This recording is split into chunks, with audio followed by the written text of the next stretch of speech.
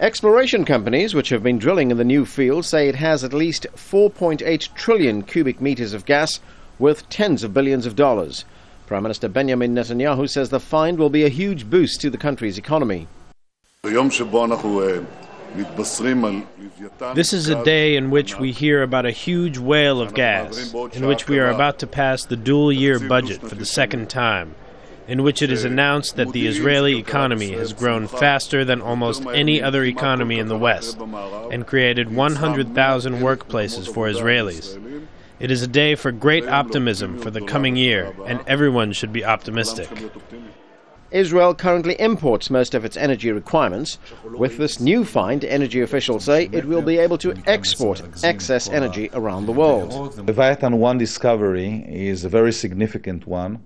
It uh, is the largest uh, natural gas offshore discovery in the world in the last uh, decades.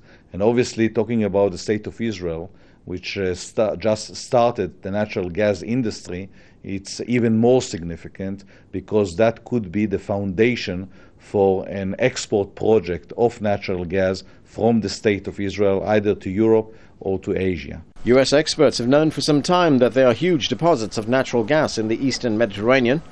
The Israeli announcement could compel other countries like Lebanon, Syria, and Cyprus to start their own exploration projects.